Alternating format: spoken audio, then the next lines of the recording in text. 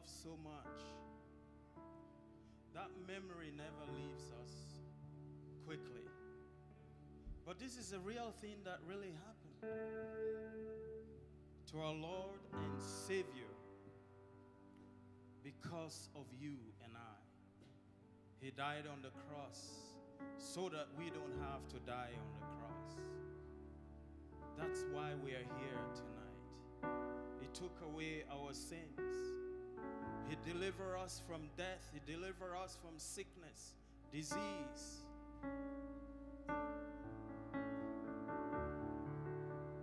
So as you come before the presence of the Lord, think about these things. Think about the sacrifice Jesus has made for you and I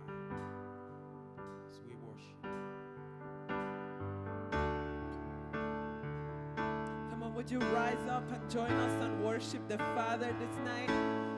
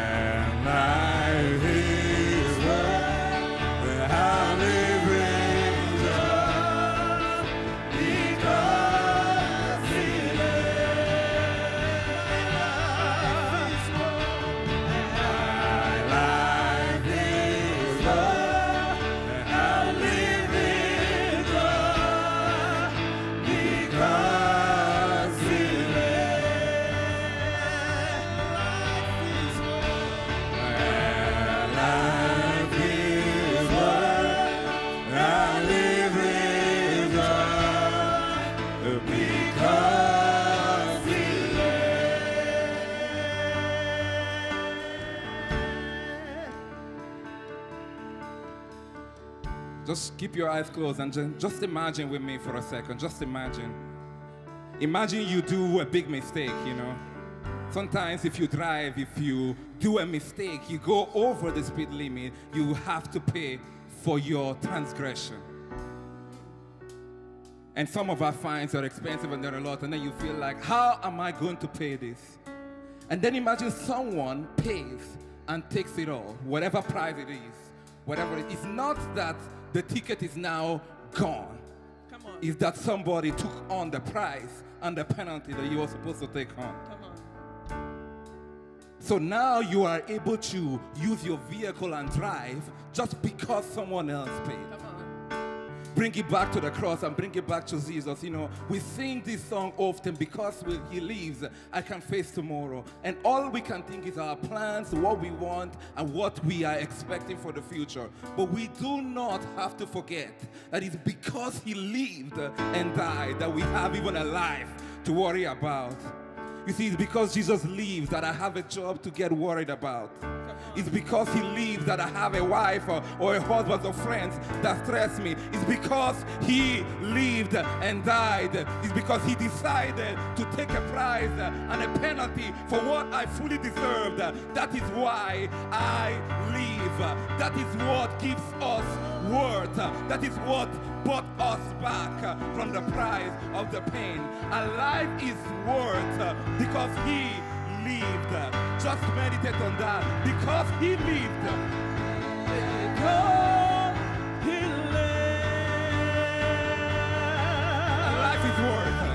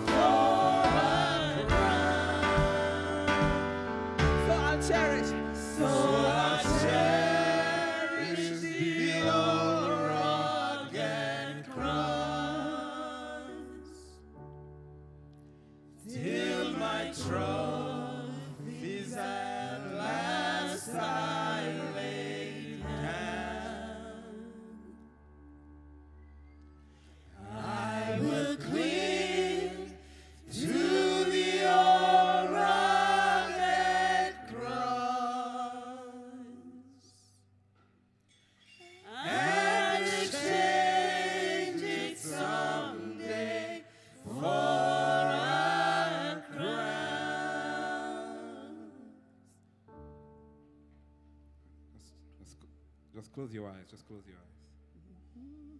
And go to that hill far away. Just go to that hill where Jesus stood in between two criminals. And just before we get ready for the communion, I just want to highlight to you the difference between the two criminals. Hmm. One asked for salvation, one asked for salvation without fear of God. He was mocking God, save me, do this, this and this and that. And the other one rebukes him, saying, telling him, Do you not fear God? And I feel like sometimes we are we are so ready, we are so excited for what the resurrection power got us and the blood of Jesus being spilled. But we forget that this blood was spilled for us to get the fear of God resurrected in us, for us to reverence God. You see, in the Bible, Joseph was able to fight temptation because he said, I cannot do this to the Lord my God. David said, I can't offer to God something that costs me nothing. There is a power that comes from understanding the fear of God. There is a reference of God that we need to rediscover. There is a king that shed precious blood. And sometimes we need to go back and cry for cleansing of our sins knowing that we cannot buy our salvation. And it's the fear of God that helps us to work for this salvation. Before anything else, close your eyes and ask God, God, revive the fear of you in me. Revive your fear, revive your reverence of you in me, so that I can work in this salvation that you got for me. Lord, help me revive that fear. I don't want to be like the other criminal asking for salvation without fear. But I know you, my salvation costs something, so help me to work it in fear of you, in reverence of you, beholding your holiness.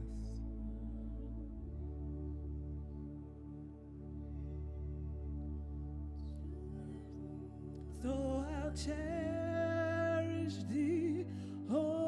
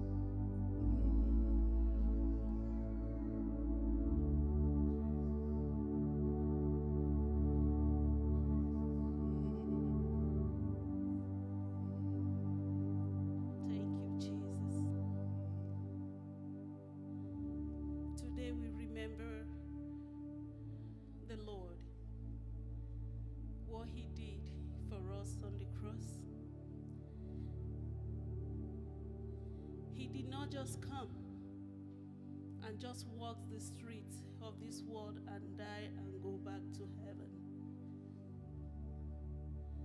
He was flogged. He was chastised by men.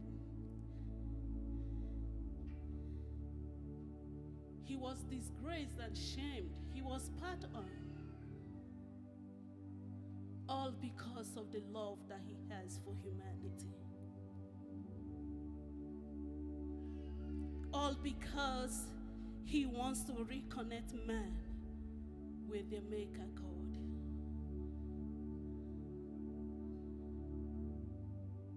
He carried the cross by himself, the cross that he was nailed on.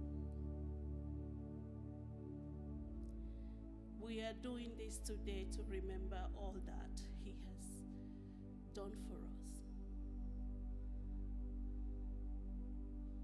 Today is a different remembrance of whom God was, what Jesus did.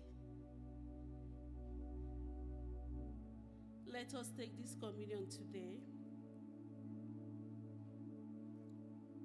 with a special understanding that He went through what He went through because He loves us. And we are responding today for not taking that love for granted.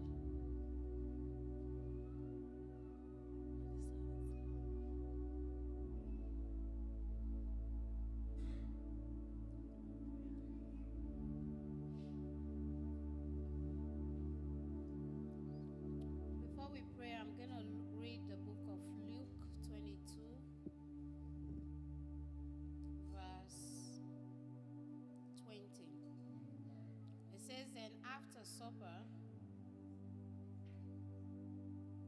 he took the cup, saying, This cup is my new covenant in my blood, which is shed for you.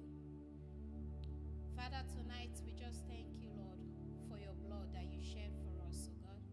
Lord, we thank you for this wine, Lord, representing your blood. We thank you for the new covenant, Lord, Father, that you have established between you and us, oh Father. Lord, we pray, Father, tonight as we take of this wine, Lord, that our covenant with you will be renewed every day in the mighty name of Jesus. Father, that we pray tonight, oh Lord, that everyone, oh Lord, that partake of this wine tonight, Lord, Father, that they will connect, stay connected with you forever and ever until you come in the mighty name of Jesus.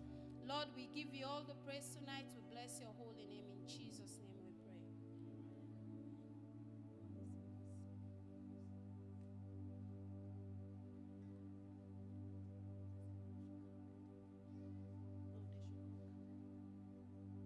Okay, please can we line up here to take our communion?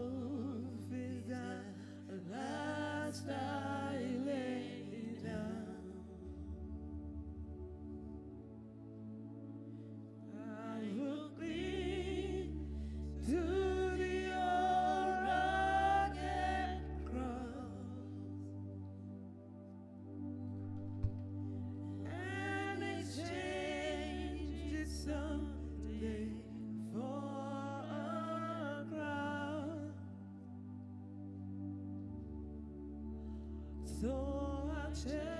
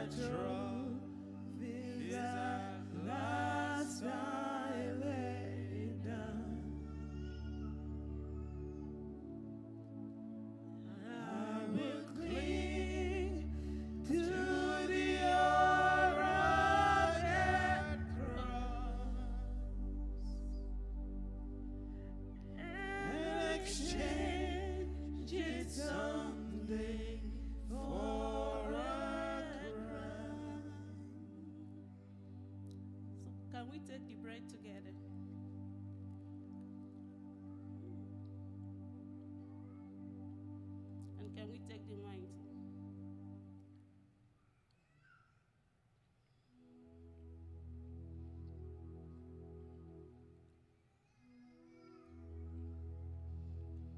Father Lord, we just thank you today as we have partake of your body and your blood obeying your word that says that we should do this in remembrance of you. Lord, oh God, we declare tonight that anything that is not of you, oh God, in our lives, flush them out, oh Lord, from the inside out, and cleanse us from all impurity and make us worthy by your blood. In Jesus' name,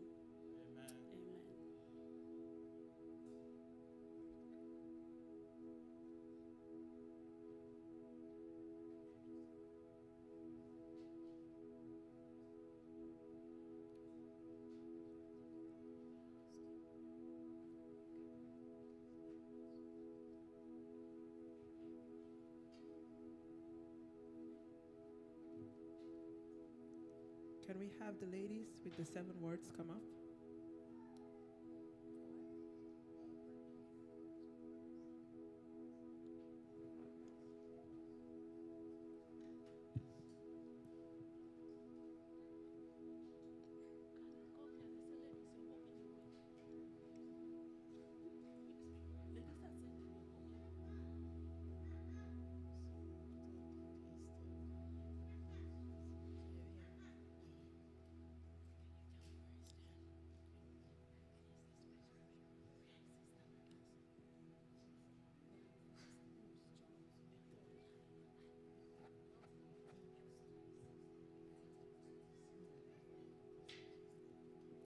You may be seated, please.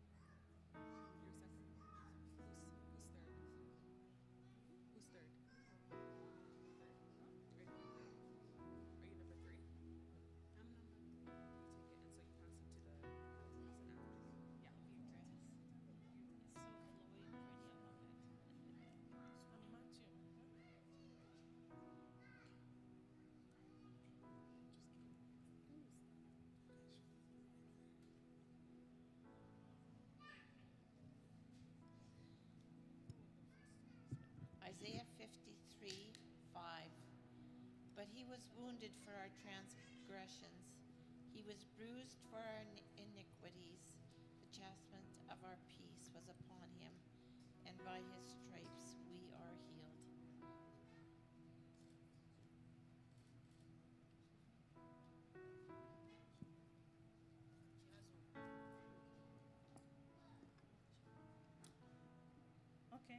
Matthew chapter 26, verse 26 to 27.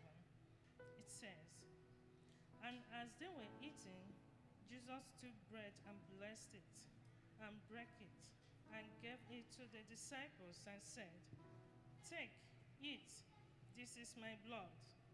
27.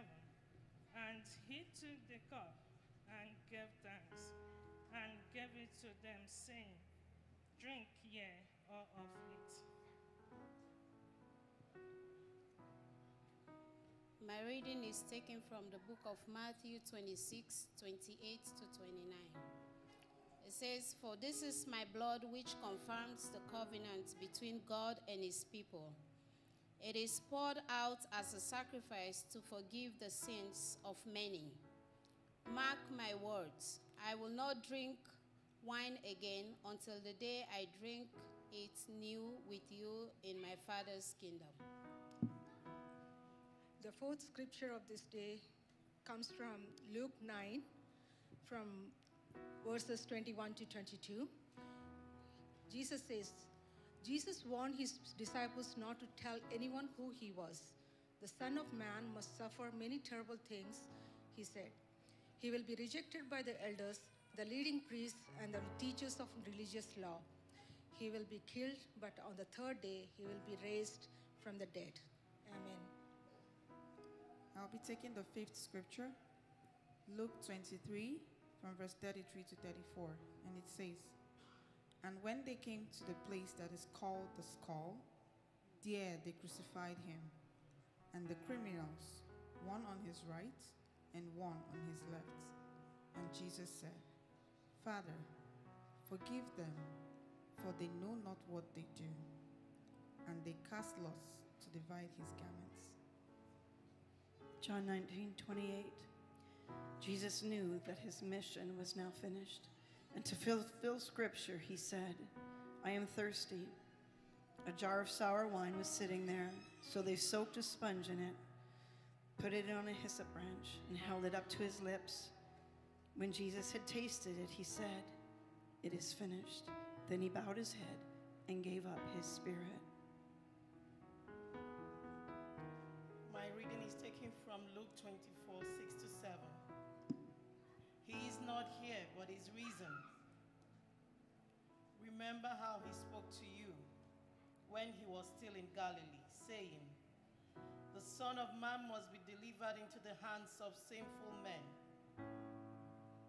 and be crucified, and the third day rise again. Amen. Please, can all the women in the house please come up to the stage?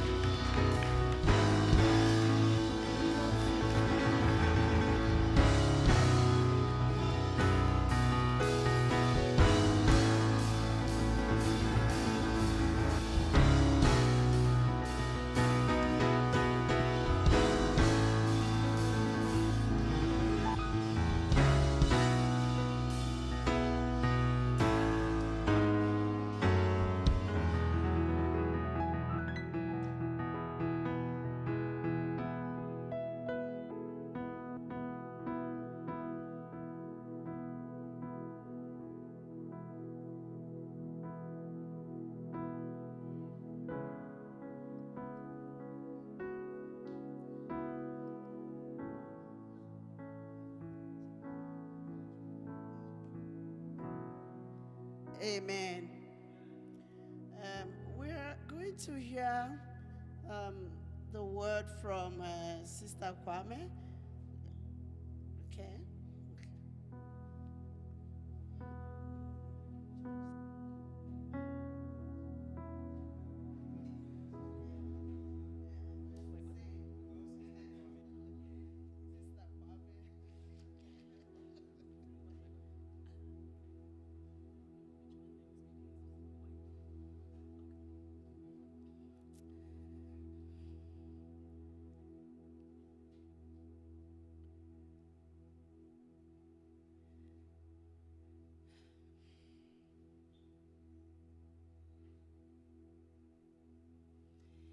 He was destined to be the Messiah, a scepter, a ruler.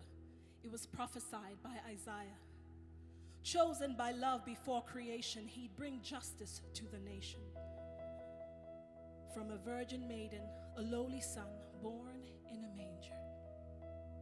The government would be upon his shoulders, wonderful counselor, mighty one, prince of peace, and his kingdom would continue to increase.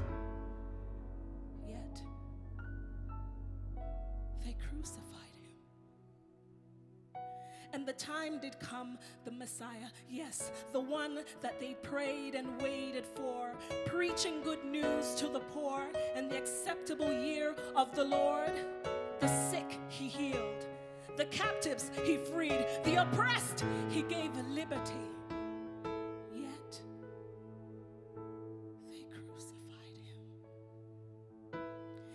Cast out demons with just one word. He even raised the dead. Yet they crucified him. The winds and waves obeyed him. Yet that man still betrayed him. And they crucified him.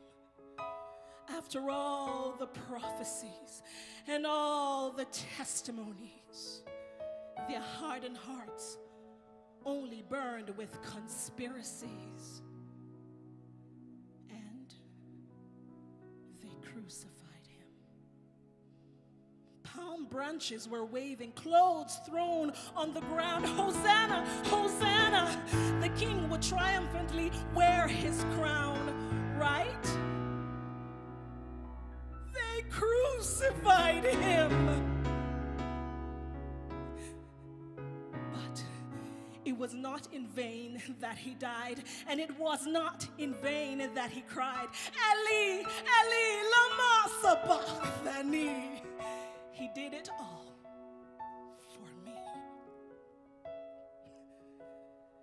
Despised, rejected, crushed for my iniquities, stricken, smitten. He took my infirmities, beaten, wounded. He healed all my disease, oppressed and afflicted.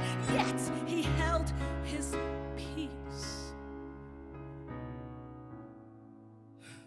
So I could be redeemed.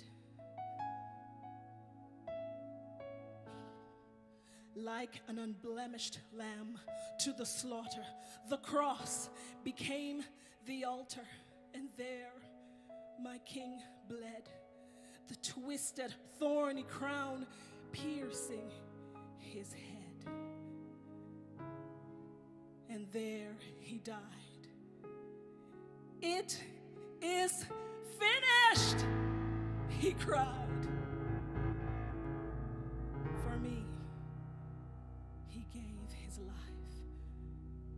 Then he rose. He'd paid the price. No other lamb was a worthy propitiation. No other blood could buy my salvation. None other could suffice.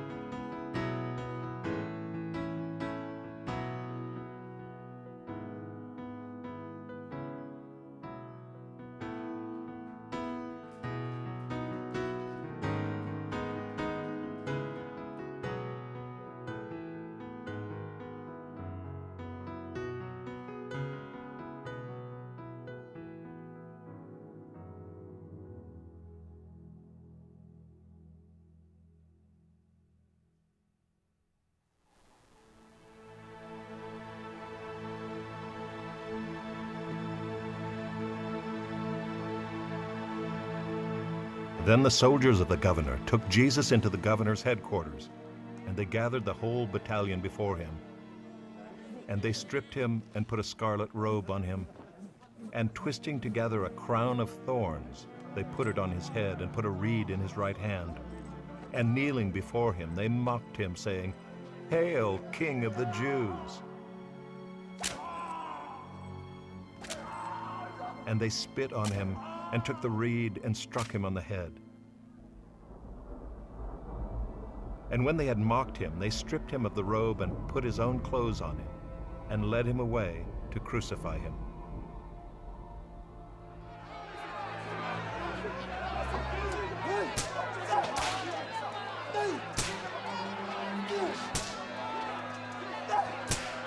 As they went out, they found a man of Cyrene, Simon by name. They compelled this man to carry his cross.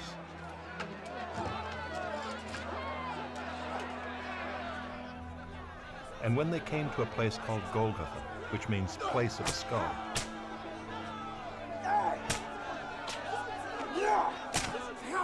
they offered him wine to drink mixed with gall, but when he tasted it, he would not drink it.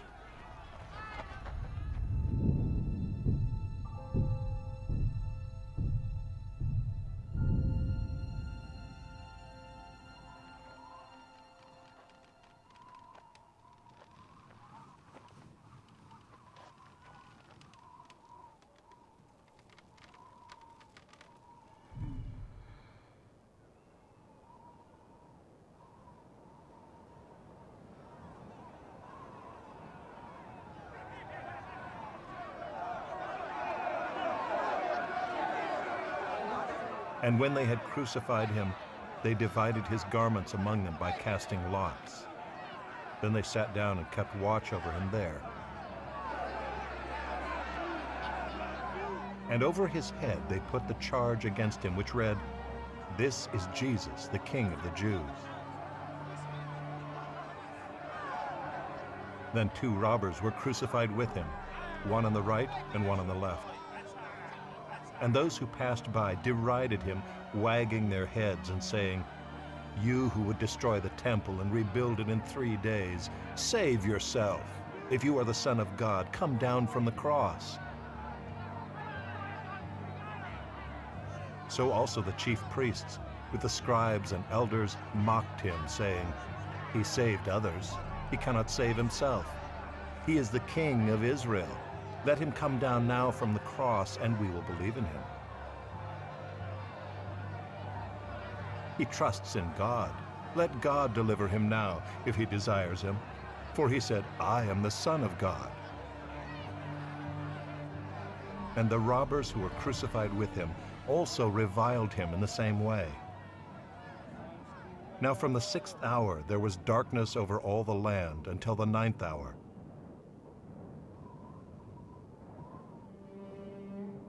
And about the ninth hour, Jesus cried out with a loud voice, saying, Eli, Eli, lama sabachthani. That is, My God, my God, why have you forsaken me?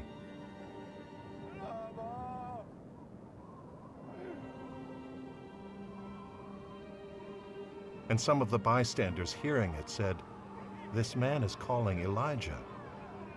And one of them at once ran and took a sponge, filled it with sour wine, and put it on a reed and gave it to him to drink. But the others said, Wait, let us see whether Elijah will come to save him.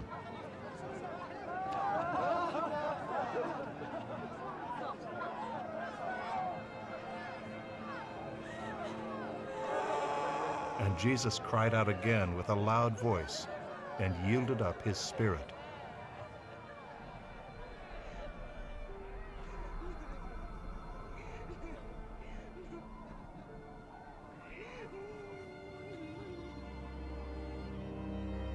And behold, the curtain of the temple was torn in two from top to bottom. And the earth shook, and the rocks were split.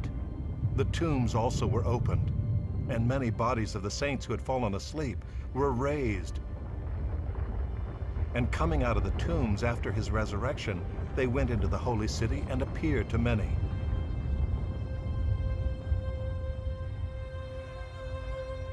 When the centurion and those who were with him keeping watch over Jesus saw the earthquake and what took place, they were filled with awe and said, Truly, this was the Son of God.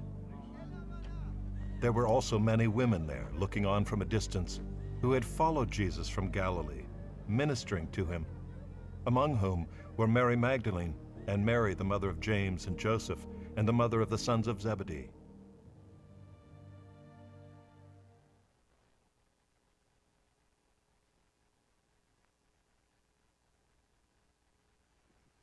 Amen. Can we put our hands together for Jesus? That was not the kind of hand. I know we are sad from what's happened, but we can do better. Each time you hear anything about the name of Jesus, I would like to have a people that are excited. Thank you, Lord. Thank you. Father, we thank you for a time like this. We thank you that we can take out a time of the year where we can sit together and reflect on what you have done. Thank you, Holy Spirit, for teaching us. Thank you for reminding us of the finished work on the cross. And we are asking that you help us as we walk through this path, that your name will be glorified through our lives, that we shall not do this as a routine or as a religious act that we get to do once in a year, but that we will have some time to reflect on the price that you paid. In Jesus' name we have prayed. Amen. Amen.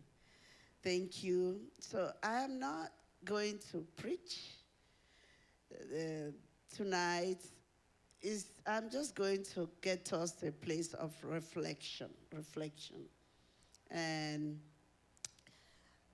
I did not come here with um, any revelation concerning the Good Friday or the death on the cross.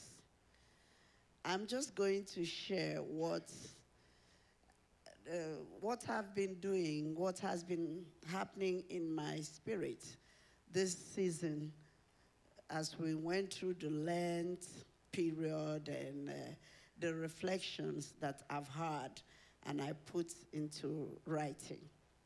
And I'm going to ask you to, to do the same.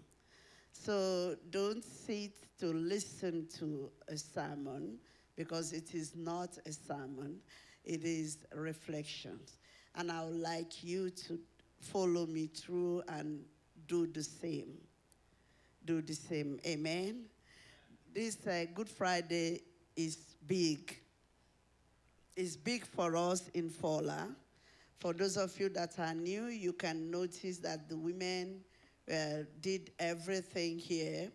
It's, uh, it's our culture because our pastor, from the time we were called into the ministry, has followed the scriptures. And because of what happened on the crucifixion, there was just the women that stood by Jesus all through when he went to the cross.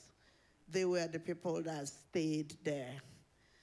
So he uh, taught us to practice the same thing that happened because usually we know in many ministries, women are Sunday school teachers, uh, keyboard players, uh, they clean the church. And, and, and that's all. They, they serve the communion sometimes, but then uh, many churches don't even allow them to minister. But our assignment is no male, no female. Is about the call of God upon the body as a whole. We are together, we put hands together, read the word, and serve the Lord as you have been gifted. Each person as you have been given. Amen. So today, I just want us to appreciate the women of destiny for getting together to do this production. And on Sunday, we are going to continue. So please, we ask you to join us. You're, if you're not a female, No. She said, no male, no female. There is male, there is female. We get that clear. Amen. Okay, so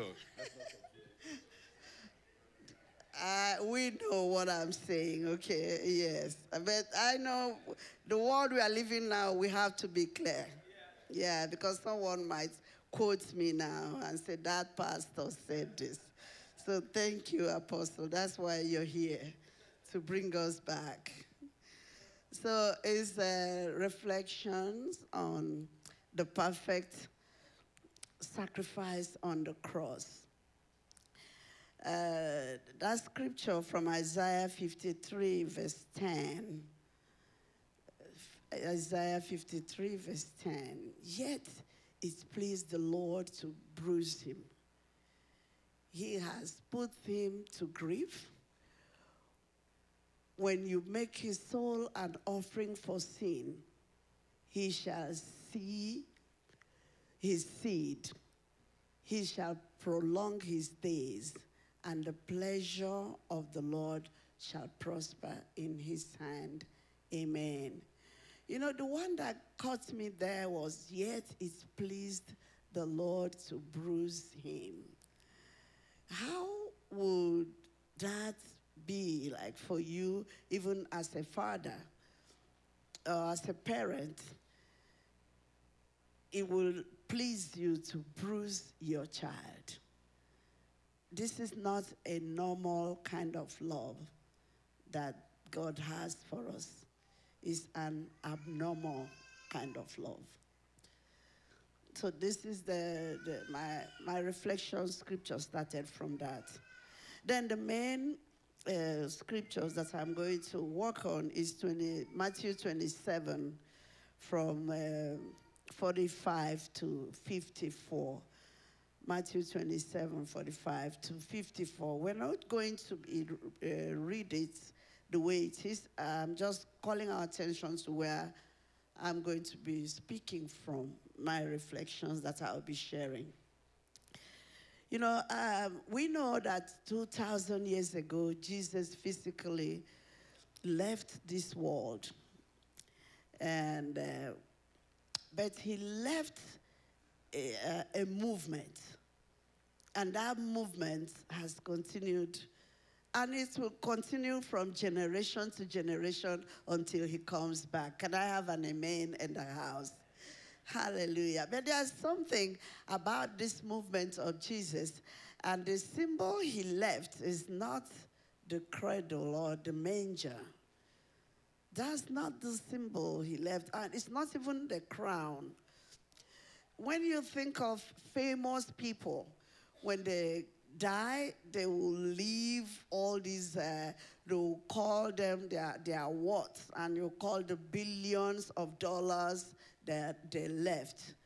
Or some of them will leave all these um, museums, some things that you go to see in the museum. They will build huge things or factories that you go to visit. But the symbol that I reflected on, that of Jesus, is the cross. Like, it's not even an expensive thing. Like, the cross, why the cross? Why is it not gold or diamond or big cars like Hummer Jeep? I like that car because it's really big. because I, I realize that when you're driving a small car, the other big, big cars don't respect you. But if you just carry the big one and when they see you, they, they can let you go. Yeah?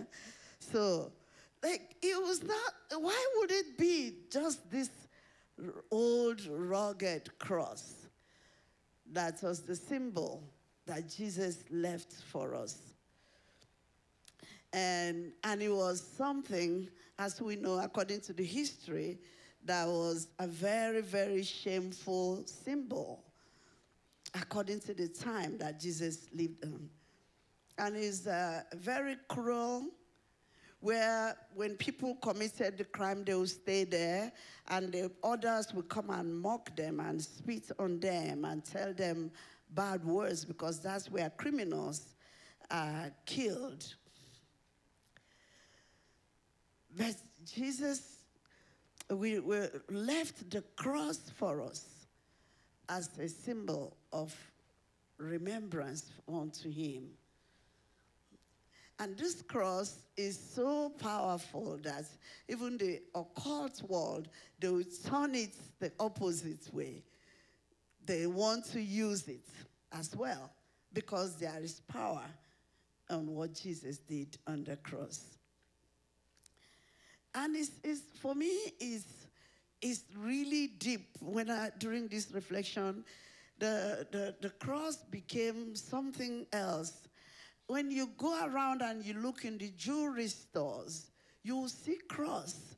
Even non-believers want to wear the cross.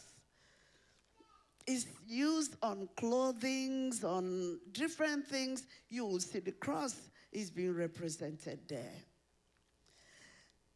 That's something that I would like you to, to reflect on when you go home or in this period. And then we know that he spoke so uh, seven words on the cross, uh, which uh, I'm not going to deal with this evening. But there are a few of them that I would like us to talk about when he, he spoke about his father.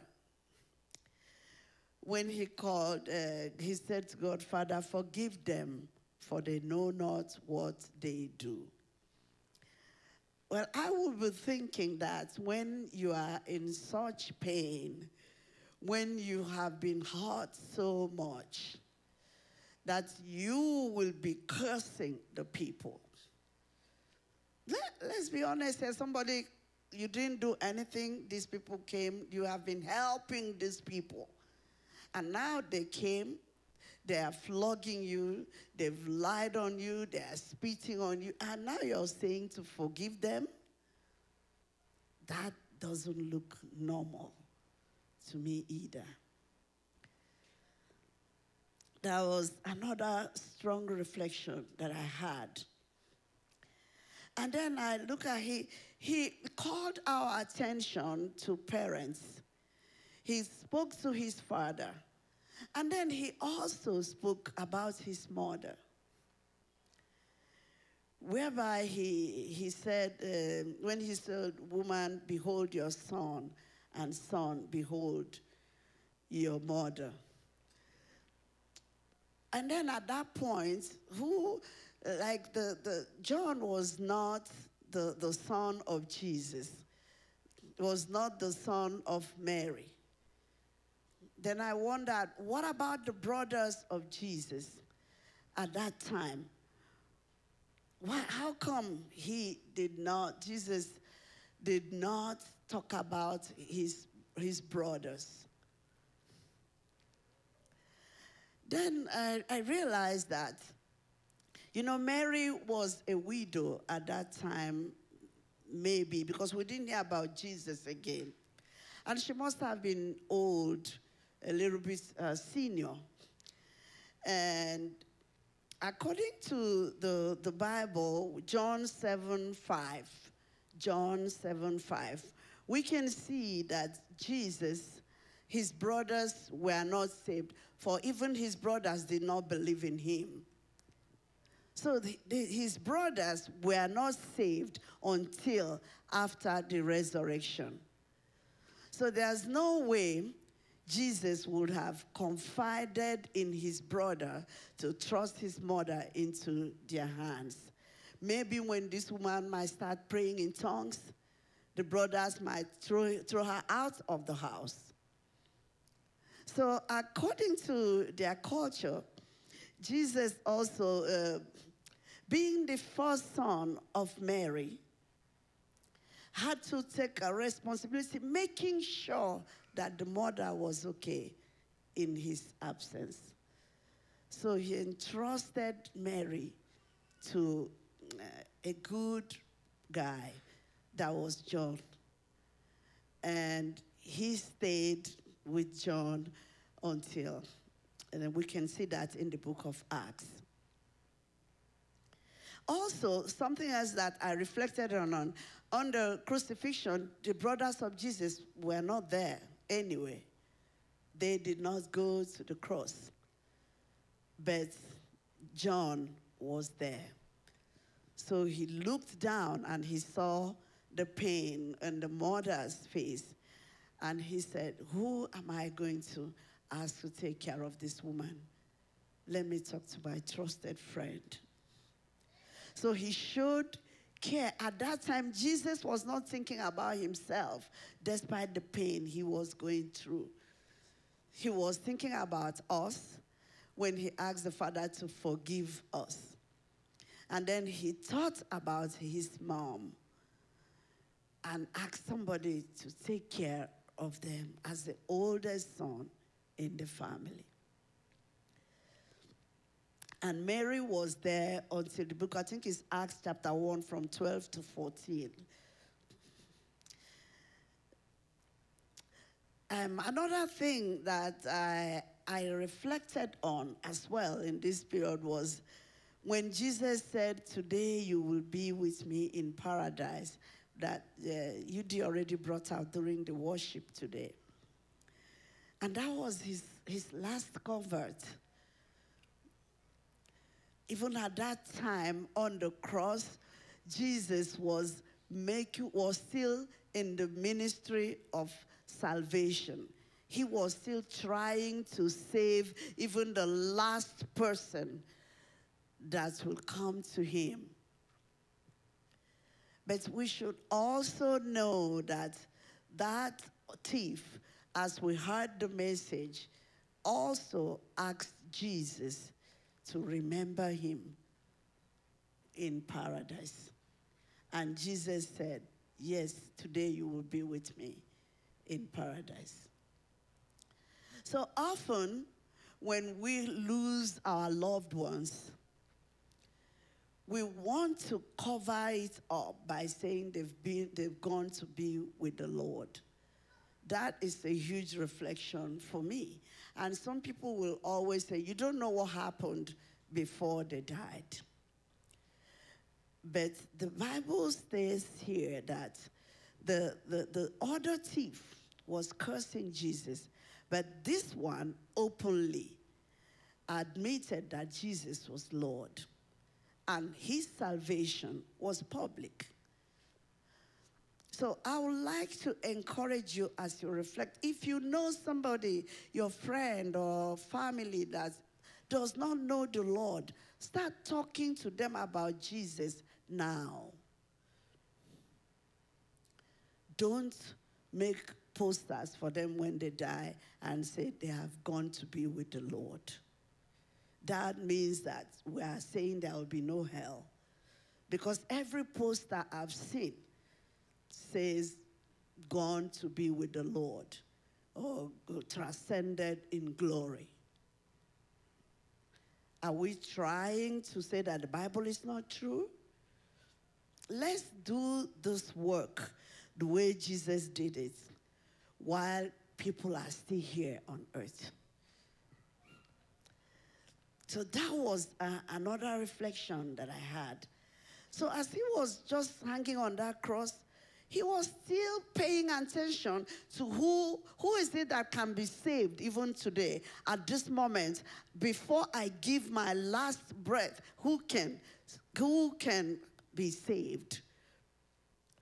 So I would like you when you go to work or something to be praying and saying who can be saved? Who can receive Jesus in my workplace today? Who can receive Jesus when I go to the grocery store today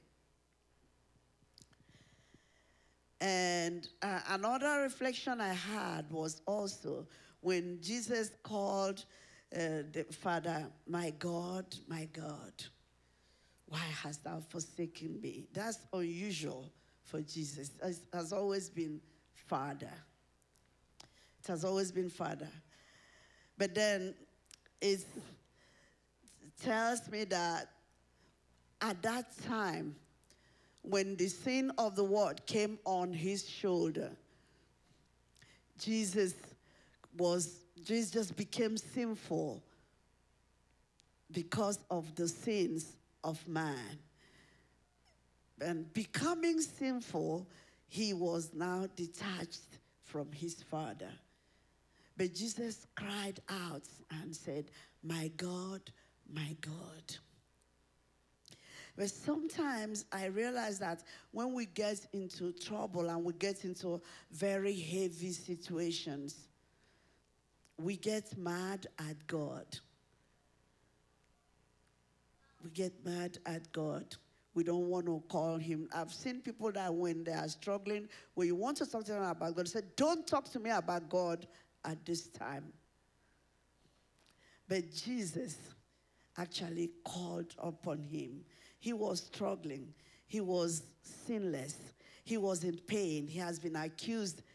Yet he was the only innocent person in this whole picture. But then he called unto God and said, My God, my God, why hast thou forsaken me? Something else that stood up for me in, uh, as I was reflecting was the darkness. And that is uh, 27, uh, verse 47, verse 45 from the Matthew 27. Verse 45, we can read that one. And it says, Now from the sixth hour until the ninth hour, there was darkness all over the land. And about the ninth hour, Jesus cried out with a loud voice, saying, Eli, Eli, lama sabachthani, my God, my God, why hast thou forsaken me? And then I thought about darkness. I thought about darkness. You know, uh, there were times that we used to travel a lot, and so we're in this place at this time, and then we're in this in the other place. So in the middle of maybe one nation or like that, I'll get confused in one hotel room and I want to go to the washroom. It's dark. I don't know where I am. And I'll ask him, where I'll ask Apostle, where are we? Where are we? He said, what's going on? I, I can't find my way. I, I don't know. Where, where am I at this time? Everything is dark. I feel lost. I'd like you to think about the darkness that covered the earth at that time when Jesus was crucified. That was another thing that stood up to me. Darkness is very terrible. And I also like you to think about it too. It can be in your house, there's no light, and you just hit your feet. I don't know how they say it in Italiano. We say inciampare. We say inciampata. So how do they say it? Trip. Okay and you tripped on something in your own house because everything was dark. But you know what? I realized that this darkness was a representative of sin and a life without God. A life without God is dark. And you, you, you don't know where you're going. It brings confusion. You get into trouble. But then light is a picture of life filled with godliness. And it's somehow, too, you can see that as far back as Genesis chapter 1, verse 3. Genesis at the beginning said that God said, Let there be light, and there was light. So at that time, there was darkness already. So nothing was working because of darkness. So the moment Jesus was on the cross and then darkness covered the earth again, darkness came over the earth. But then we know what the, the, the, the scripture tells me here, and it says that uh, Jesus is a light to the Gentiles and the glory of Israel also says, and Jesus himself says of himself, I am the light of the world. So when he was crucified, darkness covered the earth because the light of the world had taken over the sin that he did not commit. So the only light of the world became sinful just so we can receive salvation.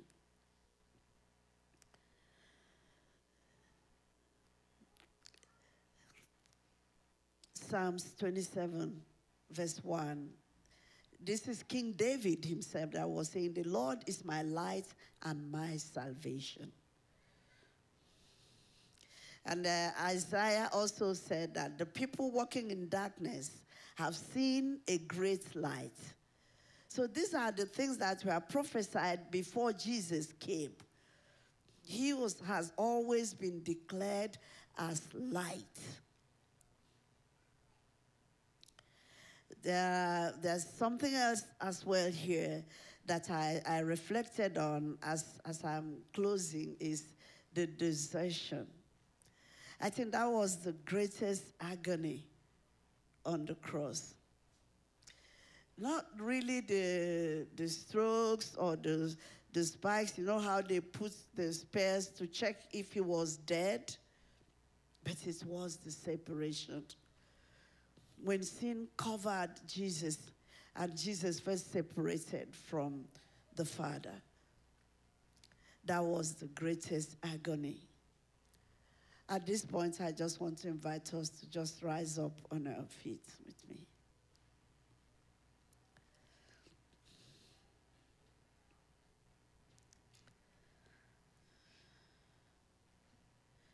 Habakkuk 1:13 says, "Your eyes are too pure to approve evil, and you cannot look on wickedness with favor."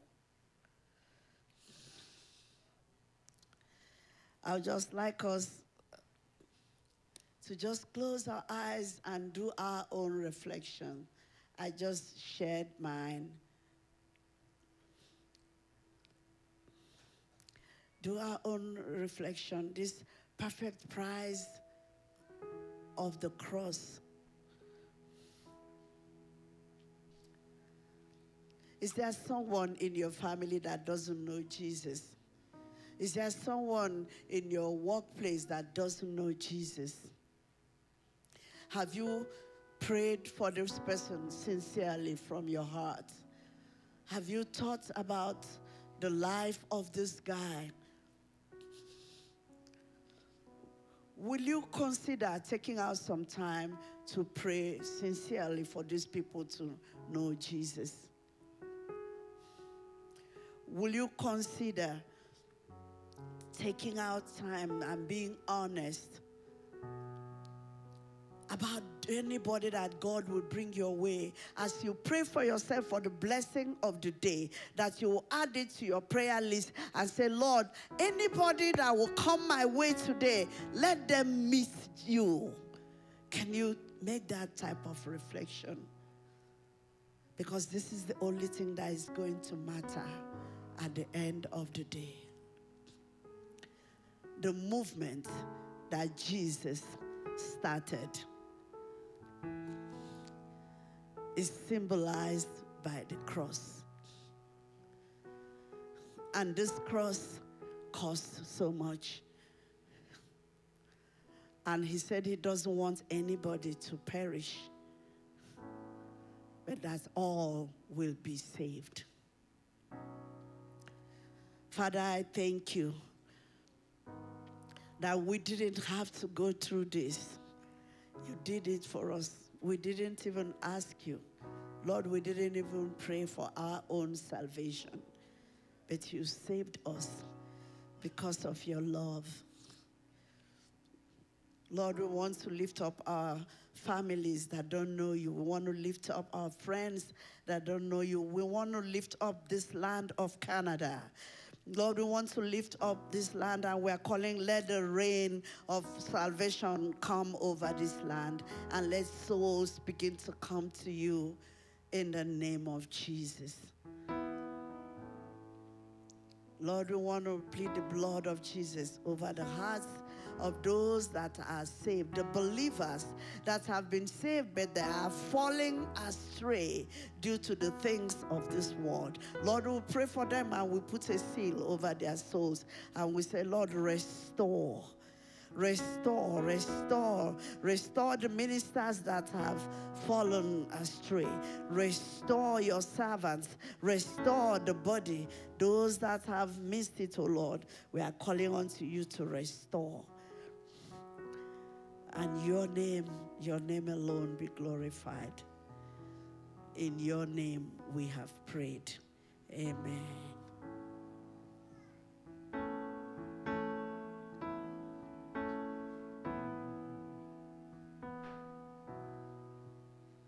So I'll cherish the aura, yeah, till my trophies till my truth is at last.